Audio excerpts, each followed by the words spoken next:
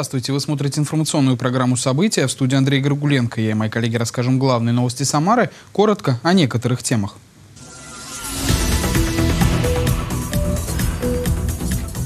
Работы провели с опережением графика. В Куйбышевском районе Самары выполнен капитальный ремонт кровли и фасада пятого дома по улице Флотская. Пробный тест. Самарские выпускники впервые сдали тренировочный ЕГЭ по информатике на компьютерах. Хоккеисты самарского ЦСКА ВС в очередной раз огорчили своих болельщиков. В драматичном поединке ледовая дружина Павла Десяткова уступила ангарскому Ермаку со счетом 3-4. За сутки в Самарской области зарегистрировали еще 218 случаев заболевания новой коронавирусной инфекции. Число заболевших в регионе достигло 19 728. В Самаре снова проверяют торговые центры на соблюдение санитарно-эпидемиологических требований Роспотребнадзора. В одном из них выявили нарушения. Составлены протоколы, которые передадут в суд. Подробнее расскажет Елена Малютина. Как по взмаху волшебной палочки при виде проверяющих и телекамер на лицах продавцов появляются маски, а на руках перчатки. За нарушение противоэпидемиологических мер штраф для юридических лиц доходит до 300 тысяч рублей. Возможно и приостановка деятельности на 90 дней. Как в случае с этим заведением. Его сотрудники пренебрегают требованиями Роспотребнадзора уже в третий раз. Как итог, точку закрыли до тех пор, пока нарушения не будут устранены, а также составили административный протокол, который передадут в суд. По требованиям, тем более для общепита, наличие перчаток для общепития обязательно в любом случае. Перчатки у нас есть. Где она у нас перчатки? На, на данный момент нет. Ну, а в этом кафе все санитарно-эпидемиологические требования соблюдают. На входе висит табличка, напоминающая о правилах. В зале все сотрудники находятся в средствах индивидуальной защиты. Гости также передвигаются по залу в масках, соблюдают социальную дистанцию. Когда заходят гости, официант или администратор, кто встречает гостей, обязательно инструктаж проводит о том, что перемещение по маске по залу, э, просит воспользоваться дезинфектором и, конечно же, измеряет температуру. В основном гости все понимают, тем более сам торговый центр тоже предупреждает вся охрана, что перемещение строго в масках, поэтому гости относятся к этому лояльно. Посетители кинотеатра в зале рассаживают с соблюдением дистанции, хотя пока не установили специальную программу, которая блокирует продажу соседних кресел. Меня пока это не устраивает, потому что на данный момент есть человеческий фактор. А вдруг он продаст пятое место? Без программы, пожалуйста, передайте, что программа... Внесли изменения по блокировке тех мест, которые не продаются. Масочный режим нарушили продавцы двух так называемых торговых островков. Руководство торгового центра приняло решение приостановить на сегодня их деятельность. Проверяющие составили административный протокол. Более сознательными оказались посетители. Ситуация достаточно позитивная в торговом центре. А, не могу сказать, что здесь имеет место быть массовое нарушение. А, где-то процентов 99 а посетители у нас так или иначе а, соблюдают масочный режим. На наши замечания надеть маски достаточно позитивно реагируют, стараются соблюдать масочный режим. Что касательно торговых точек, хотелось бы отметить следующее, что в принципе крупные торговые точки а, и крупные а, рестораны на фудкорте а, достаточно э, серьезно относятся к вопросам санитарно-эпидемиологического благополучия. По итогам рейда зафиксировали нарушения в трех из 150 торговых точках. В Самарской области еженедельно проводится около 7 тысяч проверок. За неделю оформляют до 200 административных протоколов. Елена Малютина, Николай Епифанов. События. Глава регионального Минздрава Армен Бенян на заседании Совета Губернской Думы рассказал, когда станет возможной всеобщая вакцинация населения Самарской области от COVID-19. Сейчас заканчивается третий этап испытания отечественной вакцины. Планируется, что массовое производство начнется в конце 2020 года, после чего вакцину направят в регионы. Первоочередная вакцинация подразумевает обеспечение прививками граждан из групп риска, рассказал Армен Бенян. В сентябре на Самарский фармсклад отгрузили 42 дозы препарата Гамковид-ВАК. Прививки прививки сделали врачам. Последующие поставки должны быть в конце ноября. Ожидается 2709 доз. В Куйбышевском районе Самары выполнен капитальный ремонт кровли и фасада по адресу Флотская, 5. Работы провели с опережением графика. Дом старой постройки находится в границе сквера Речников. Недавно он был сдан в эксплуатацию после планового благоустройства. Обновлением здания жители дома остались довольны. Подробности в репортаже Ольги Павловой. Чтобы капитально обновить фасад и кровлю по адресу Флотская, 5, рабочим потребовался месяц. Работы по благоустройству жилого здания начались в августе этого года, а уже в сентябре их завершили. В соответствии с контрактом на обновление фасада было затрачено 573 тысячи рублей. На ремонт кровли более полутора миллионов. Это очень хороший пример комплексного подхода. С одной стороны, э, благодаря фонду капитального ремонта был э, произведен ремонт и замена кровли данного многоквартирного жилого дома. С другой стороны, благодаря федеральной программе формирования комфортной городской среды Куйбышевский район получил благоустроенную территорию, отвечающую всем пожеланиям.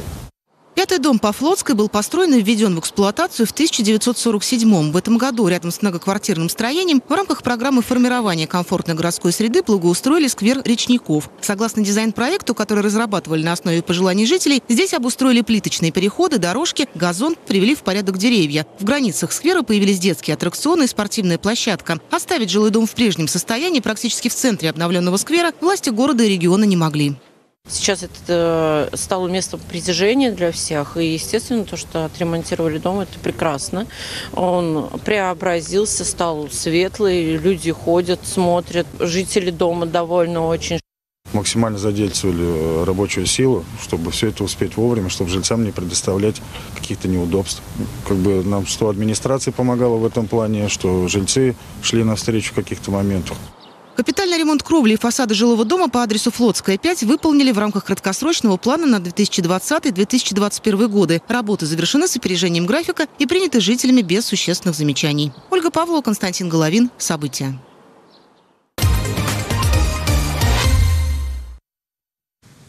Больше 50 километров дорог в Самаре привели в порядок в этом году. Работали без перерывов днем и ночью, благодаря чему получилось сделать больше объем работ, чем намечалось.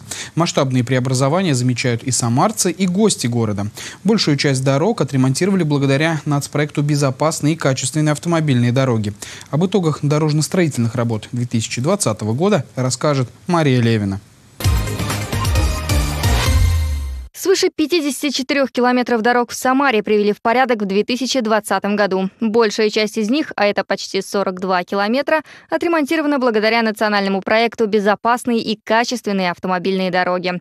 Еще почти 13 километров сделаны дополнительно. Так полностью преобразились в текущем году пять дорожных объектов, на которых выполнен комплексный ремонт. Это улицы Мичурина, Победы, Старозагора, а также участки улиц Ленинской и Арцебушевской. На этих двух улицах работа согласно двухлетнему контракту продолжится и в следующем году.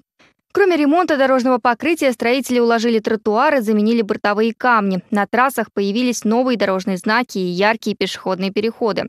Для удобства маломобильных граждан сделали пандусы, плиточное покрытие тротуаров с тактильными элементами для слабовидящих горожан. Полосы уширения появились на самых загруженных перекрестках, например, на улице Старозагора на пересечении с улицами Советской Армии, Димитрова, Нововокзальной. К работам бригады приступили в апреле. В первую очередь брали в работу улицы истории или названия которых связаны с Великой Отечественной войной. В год 75-летия Великой Победы структурной составляющей национального проекта является проект «Улица Победы». В Самаре особое внимание в этой части было уделено улицам Победы, Карбышева, Фадеева. Теплая осень, говорит подрядчик, сыграла на руку, и потому получилось не только закончить к намеченному сроку, но и сделать больше, чем планировали. На участках работали 200 человек одновременно, как днем, так и ночью. Все работы по проезжей части, по покрытиям, по асфальту были завершены в нормативные погодные условия до 1 ноября. И э, благодаря тому, что погода позволила дальше работать, мы смогли выполнить часть работы, которая планировалась э, к выполнению в следующем году. Это четыре квартала по улице Арцебушевской. Времена диктуют свои правила, но на дорожном строительстве пандемия коронавируса не отразилась. Разве что организационной работы прибавилось, рассказывают подрядчики. Обработка техники специальным противовирусным веществом, составление графиков работы для строителей так, чтобы не было большого скопления людей в раздевалках и закупка средств индивидуальной защиты. Самарцы оценили результаты работ этого года. Очень рада. город изменяется постоянно, к лучшему. Сами самарцы принимали участие в преображении города, к их идеям прислушивались как в начале ремонта, так и в процессе. Например, когда в порядок приводили дорогу на Ленинской, жители домов в округе активно высказывали свои предложения. Благодаря чему там появились дополнительные парковочные карманы, отремонтированы въезды во дворы, скорректированы тротуары. Мы ориентируемся на карту ОНФ, ориентируемся на, на жалобы жителей и на поручение губернатора и на предписание от ГИБДД. Жители активно участвуют э, при ремонте дорог, э, присылают нам свои замечания, на которые мы реагируем и стараемся все поправить. Все участки приняли, за их состоянием заказчик и подрядчик продолжают следить. В настоящее время замечаний у кураторов нет. Гарантия на покрытие, отремонтированное в ходе комплексного ремонта, составляет 5 лет. На ремонт большими картами – 2 года. Улицы Старозагора и Победы отремонтировали по контракту жизненного цикла. Это значит, что после окончания строительных работ подрядчик еще несколько лет обязан следить за состоянием дороги. Мария Левина, Григорий Плешаков. События. Молодые врачи Самары дополнительно получили более 5,5 миллионов рублей, а правительство России с 2022 года вводит новый порядок выплаты больничных и пособий по материнству. Подробности в новостях экономики. Здравствуйте, это новости экономики. Расскажу о них. Я Светлана Кудрявцева. Правительство России вводит новый порядок выплаты больничных и пособий по материнству напрямую, а не через работодателя. Об этом заявил премьер-министр Михаил Мишустин. Он подчеркнул, что больничные с 2022 года будут оформляться автоматически, минуя работодателей из Фонда социального страхования. Оформлять дополнительные заявления гражданам не придется. С 2021 года многодетные россияне смогут тратить госсубсидию в сумме 450 тысяч рублей на строительство и ремонт жилья по ипотеке. Такой законопроект Госдума рассмотрит в декабре. Сегодня многодетные семьи имеют право только на погашение ипотечного кредита на покупку недвижимости. Новые меры, по мнению депутатов, будут способствовать улучшению жилищных условий, а также послужат импульсом для индивидуального жилищного строительства. С начала года молодые врачи Самары дополнительно получили более 5,5 миллионов рублей. Это стало частью муниципальной программы сохранения и укрепления общественного здоровья на территории городского округа Самара нацпроекта здравоохранения. На доплаты могут рассчитывать молодые специалисты не старше 35 лет, работающие в государственных учреждениях и оказывающие первичную врачебную помощь с момента окончания обучения которых прошло не более трех лет. Для врачей такая выплата составляет 5 тысяч рублей, для медицинских сестер – 3 тысячи. Оптимальный ценовой диапазон для покупки поддержанной машины в России составляет от 150 до 180 тысяч рублей. Об этом свидетельствуют данные опроса сервиса Сберавто. Высоким спросом у россиян среди новых автомобилей пользуются машины стоимостью от 500 тысяч до полутора миллионов рублей. В диапазоне от 500 тысяч до 800 тысяч лидируют вазовские модели. В более дорогом сегменте популярные Kia Rio, Hyundai Solaris и Skoda Rapid.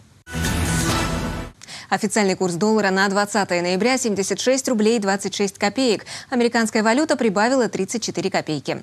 Евро 90 рублей и 35 копеек. Европейская валюта повысилась на 12 копеек. Нефть марки Brent на 16 часов 19 ноября стоит 43 доллара и 94 цента за баррель.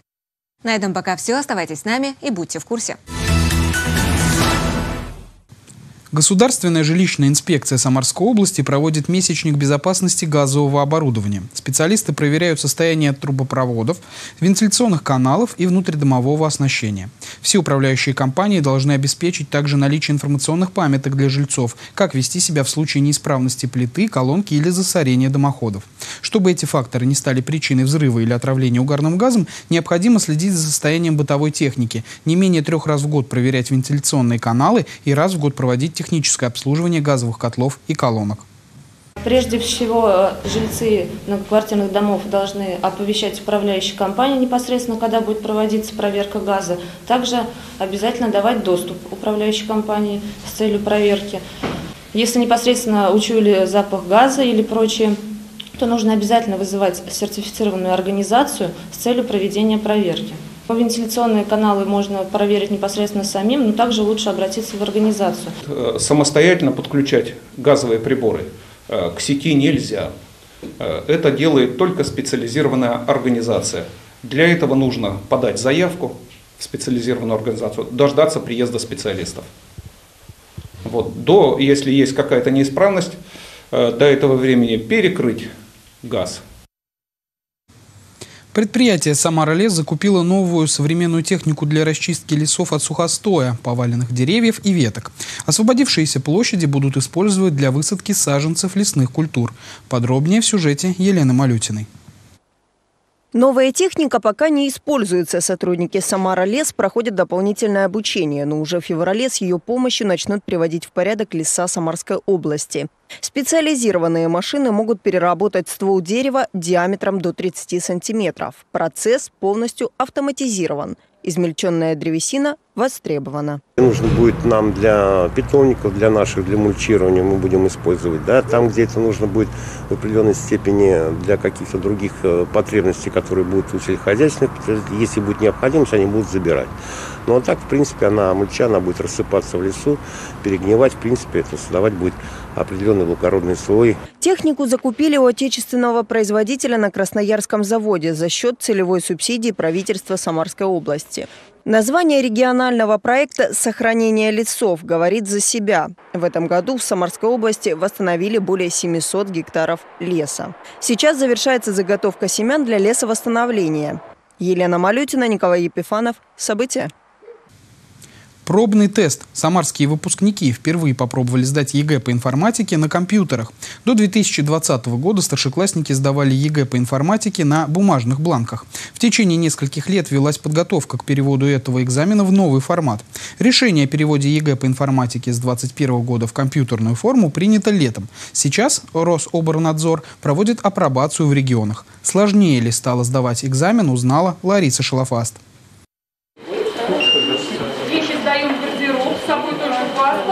Масочный режим и социальная дистанция. Пробный экзамен в одном из самарских лицеев проходит с соблюдением всех требований Роспотребнадзора. ЕГЭ по информатике на компьютере старшеклассники сдают впервые. Раньше его писали только на бумажных бланках. Волнение есть из-за того, что нет опыта предыдущих поколений. Но я думаю, мы станем как раз-таки этим опытом, и уже на нашем примере многие э, ребята в дальнейшем будут не бояться сдавать ЕГЭ по информатике. Без оценки по информатике не обойтись, говорит Андрей Хорохорин. Он планирует стать программистом, и для поступления в ВУЗ нужно сдавать ЕГЭ по профильному предмету. Андрей признается, новый формат экзамена ему нравится больше. Всем удобнее электронный вариант, потому что больше возможностей себя проверить. Э, допустим, вот можно прорешать все задания сначала на листочке, ну то есть самому посчитать, а потом написать программу на компьютере и проверить. Для тренировочного экзамена подготовлены современные компьютеры, на которые установлено все необходимое программное обеспечение. Компьютерная форма ЕГЭ включает 9 заданий, которые выполняются в электронном виде, и 18 заданий, перенесенных из бланковой формы. На выполнение всех тестов у школьников есть почти 4 часа. Результаты пробного экзамена определит специальная программа. Три тренировки будет за год. Вот сегодня такая первая как бы очная консультация, тренировка, они, она принимает участие дети, но для нас на этом этапе самое главное отработать всю технику. Потому что вы прекрасно понимаете, что это определенные технические условия, они должны быть равные, во-первых, для всех детей, а во-вторых, не должно быть никаких сбоев. Решение о переводе ЕГЭ по информатике с 2021 года в компьютерную форму принято летом. Сейчас Рособорнадзор продолжает апробацию в регионах. Симулятор программного обеспечения для проведения компьютерного ЕГЭ по информатике будет опубликован на сайте Федерального центра тестирования, чтобы все участники ЕГЭ смогли заранее с ним ознакомиться и потренироваться. Лариса Шлафаст, Максим Гусев. События. В Самаре открылся 13-й Всероссийский фестиваль документальных фильмов «Соль земли». В этом году он в необычном формате. Киноленты покажут онлайн. Новый формат позволил отобрать больше фильмов, чем в прошлом году. Среди участников документалисты со всей России и ближнего зарубежья. О чем авторы хотят сказать зрителю, в этом году узнала Мария Левина. Оптимизмом главное, оптимизмом. Больше оптимизма, господа. Последнее приготовление, камера, свет, мотор. На экране кинотеатра «Художественный» и в интернете начинается прямая трансляция открытия Всероссийского фестиваля документальных фильмов «Соль земли». Авторы со всей России и ближнего зарубежья отправляли свои работы, чтобы заявить о себе. В этом году фестиваль проходит в новом формате – онлайн что не только не ограничивает, а напротив открывает режиссерам новые возможности. Из 300 заявок для просмотра выбрали 80 кинолент. Это в два раза больше, чем годом ранее. В центре внимания режиссеров «Жизнь и судьба человека». Для каждого режиссера есть за участие в фестивале это такая, знаете, ну, почетная миссия, что ли, потому что его фильм увидят э, другие кинематографисты. А возможность показа этого фильма, например, онлайн, как сейчас, да, то есть это, этот фильм увидят э, в интернете, и, может быть, это как раз, кстати, во время пандемии такая помощь, да, в раскрутке собственного фильма. Фестиваль проходит на Самарской земле уже в 13 раз. С открытием участников и зрителей поздравила глава Самары Елена Лапушкина. Проведение фестиваля «Соль земли» стало доброй традицией. И самарский зритель всегда с интересом ждет показа новых кинолент российских и зарубежных кинематографистов. На протяжении многих лет фестиваль способствует сохранению духовного наследия нашей страны, открывает миру новые таланты. Уверена, что и этот год не станет исключением. В этом году темой фестиваля стало 75-летие победы в Великой Отечественной войне. В целом же лейтмотив остался прежним – жизнь и судьба человека. В основе документального фильма всегда стоял герой, всегда стоял человек с своей, со своей душой, со своими размышлениями, со своими болями, горечами и радостями. Поэтому также много картин о людях, о простых и непростых, о известных и неизвестных, о бедных и богатых, но это в любом случае человек со своей реальной жизнью. Киноленты будут транслировать на официальном сайте фестиваля до 21 ноября. Ежедневно с 6 до 10 часов вечера в прямом эфире будет работать онлайн-студия, где гости будут рассказывать о своих фильмах и делиться планами на будущее. Мария Левина, Николай Епифанов. События. Хоккеисты самарского ЦСКА ВС в очередной раз огорчили своих болельщиков. В драматичном поединке ледовая дружина Павла Десяткова уступила ангарскому Ермаку со счетом 3-4. За матчем во Дворце спорта «Кристалл» наблюдал наш корреспондент Анатолий Головко. Подбитые летчики из Самары никак не могут найти свою игру. Хоккеисты ЦСКА ВВС уступили ангарскому Ермаку на домашней арене. Это поражение стало восьмым в последних десяти матчах. После неудачного поединка с «Соколом» все ждали, что дружина Павла Десяткова бросится вперед с первых минут, желая реабилитироваться перед болельщиками, но этого не произошло. Волжане провалились на старте встречи. В первом периоде сибиряки забросили две безответные шайбы. Гости могли сделать счет крупнее, но голкипер Сергей Денисов этого не позволил.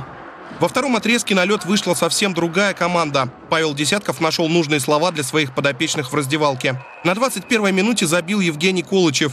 Судьям потребовалось несколько минут, чтобы засчитать гол. Еще через несколько минут Егор Алешин реализовал большинство и восстановил равновесие. А когда Алексей Басков вывел ЦСКА ВВС вперед, показалось, что хозяева уже не упустят победу, но пропущенный гол в раздевалку ударил по самарским хоккеистам. В третьем периоде летчики играли значительно слабее. Ермак забросил еще одну шайбу в большинстве и установил окончательный счет на табло – 3-4. После матча раздосадованный Павел Десятков заявил, что хоккеисты постоянно нарушали игровую дисциплину. Также тренер вспомнил слова экс-наставника «Волжан» Александра Соколова, который возглавлял команду с 2018 по 2020 годы.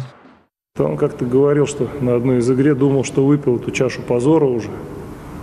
Да, и поправился потом, что, видимо, не до конца. Ну, получается, что, наверное, мне ее допивать приходится теперь. А вот наставник Ермака остался доволен результатом и качеством игры своих подопечных. Хорошо сыграли. Первый хорошо начали игру. В принципе, мы вчера разбирали э, наш, как мы играли в Тольятти, когда проиграли 0-3 второй период. Спасибо сопернику за хорошую игру. Нам сегодня нужнее было. После этого поединка ЦСКА ВВС опустился на 22-ю строчку в турнирной таблице. Летчики имеют в своем активе 18 очков. Следующую встречу подопечные Павла Десяткова проведут на домашнем льду 22 ноября. Они будут сражаться с новокузнецким «Металлургом». Стартовый свисток прозвучит в 13.00. Игра пройдет без зрителей. Анатолий Головко, Василий Колдашов. События. На этом наш выпуск завершен. Заходите на наш сайт и подписывайтесь на наши страницы в социальных сетях. Всего доброго. До встречи. Thank you.